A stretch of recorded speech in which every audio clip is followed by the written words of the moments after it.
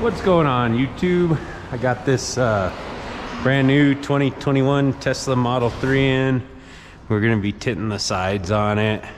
Just kind of want to make a quick video showing you how I take the uh, take the sweeps out. Makes these really easy to do.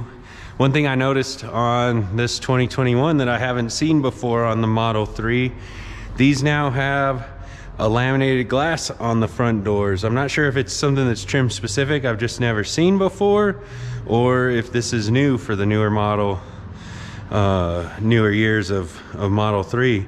But that is gonna be something to be careful of. You don't really wanna overheat this, potential to crack it or melt the lamination. Um, but yeah, just uh, sit back, kind of show you. Sweeps are actually pretty easy to take out on these.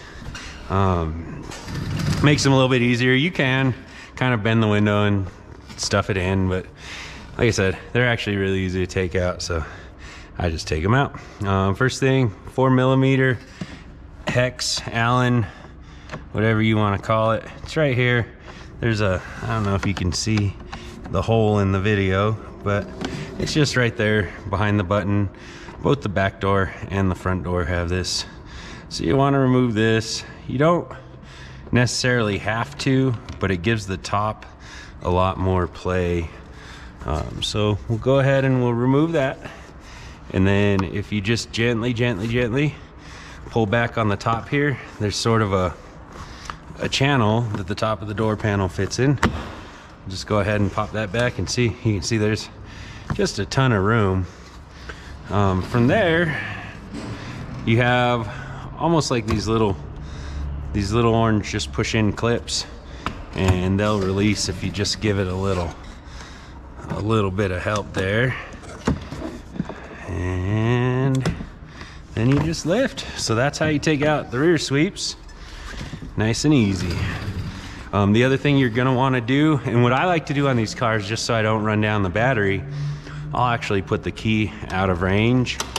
And then that way when uh, when uh, you're working on it, index the doors, just trigger the latch, and the car will shut itself off.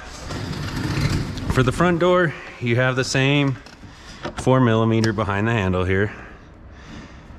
Um, really the only thing kind of different, you don't have those clips in the front, you only have them in the back, but we also have to remove this uh, speaker here. So we'll go ahead and if you just kind of slide the speaker, this goes also for the Model X. If you just slide this up, you see these clips here? They clip down into the bottom there.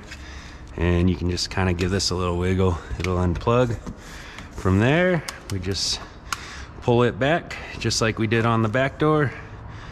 And uh, just walk it along. Nice and easy there. So, got our room. And let's undo these clips. Should have one or two in the back here. And then one like right here behind the door panel. And then we just lift that up and out. And trigger the latch. So there you have it. That's kind of how I take these apart, get them ready for tint. Leaves lots of room and uh, makes these nice and easy to tint. So uh, if you want to hang out, I'm going to go ahead and shut up here and tint. I'll talk to you in a little bit.